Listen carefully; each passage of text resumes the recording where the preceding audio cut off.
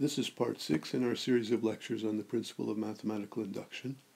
We're going to do a fourth example of a result proved by the principle of mathematical induction. Here's the result that we're going to prove. We're going to show that for every natural number n, if we take this quantity, n cubed over 3 plus n to the 5 over 5 plus 7 over 7n over 15, that that actually comes out to be an integer. And we're going to do that proof using the principle of mathematical induction.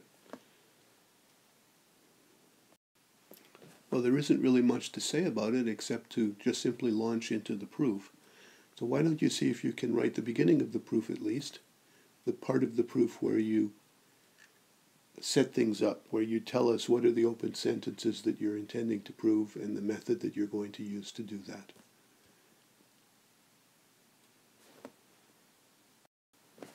Okay, so this is what I was referring to. At the beginning of the proof, you say, for each natural number n, we let p of n denote the open sentence that n cubed over 3 plus n to the 5 over 5 plus 7n over 15 is an integer, and that we're going to use the principle of mathematical induction to prove that for every natural number n, p of n is true.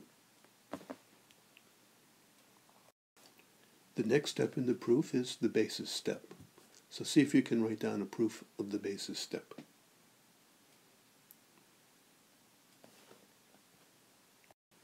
So here's my proof. For n equal to 1, if you simply write down what this is for n equal to 1, it's 1 third plus 1 fifth plus 7 fifteenths. If you get a common denominator of 15 and add them together, you see that it really does come out to be 1, which is an integer. Thus p of 1 is true. The next step in the proof is the inductive step. So see if you can figure out how to write up what is the inductive part of the proof.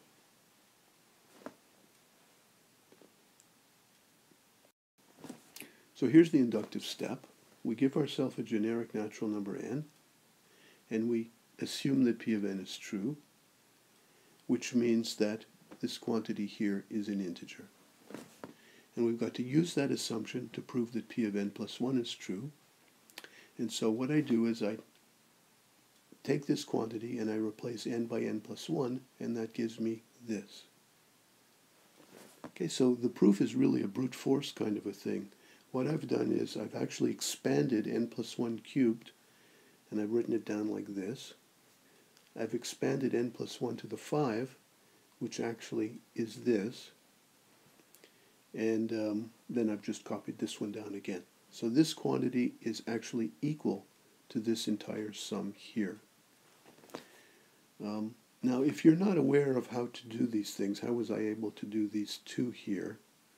Um, I've made use of something called Pascal's triangle, and that's something that you should be familiar with. So let me just digress for a moment to show you this Pascal's triangle in order to explain where these two things come from.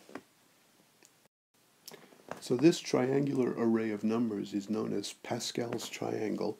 And the way you do it is you start with a 1 at the top, and then you move downwards. And wherever you are, you look up to the right and to the left, and you add the two numbers that you see.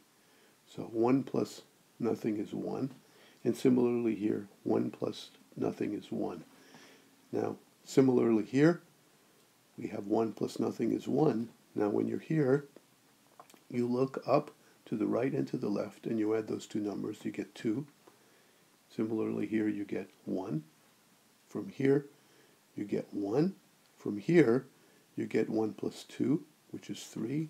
From here you get 2 plus 1 is 3, etc. This is 1 plus 3. This is 3 plus 3. This is 3 plus 1, etc. Then it turns out that these numbers here are the coefficients in a certain expansion. So let's write down, um, say this one here. So these numbers give you the coefficients in the expansion of the expression 1 plus x cubed. It's 1 plus 3 times x plus 3x squared plus 1, yeah, plus x cubed rather. And if you look at these here, those are the coefficients in the expansion of 1 plus x to the 5. It's 1 plus 5x plus 10x squared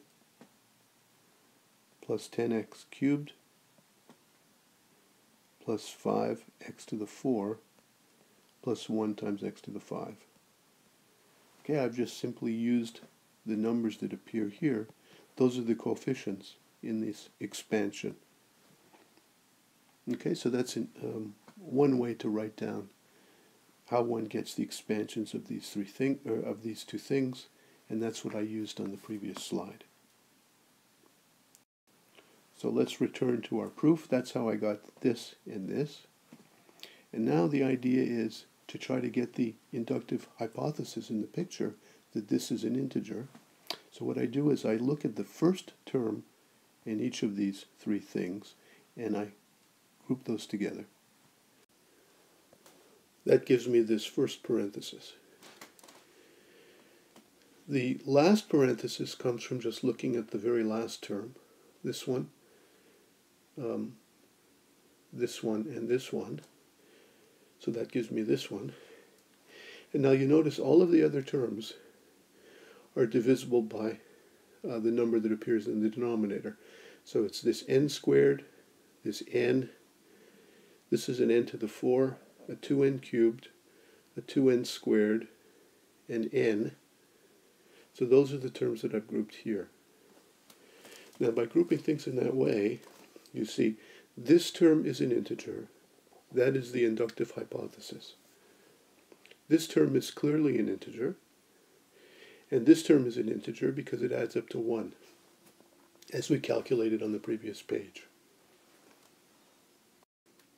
So it follows that this entire expression is an integer because it's the sum of three integers.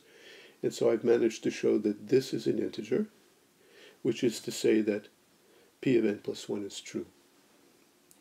And you'll notice that I indicated here when I was making use of the inductive hypothesis that p of n is true, it's the fact that this is an integer. Okay, so we now have the right to say that it follows from principle of mathematical induction that p of n is true for all natural numbers n.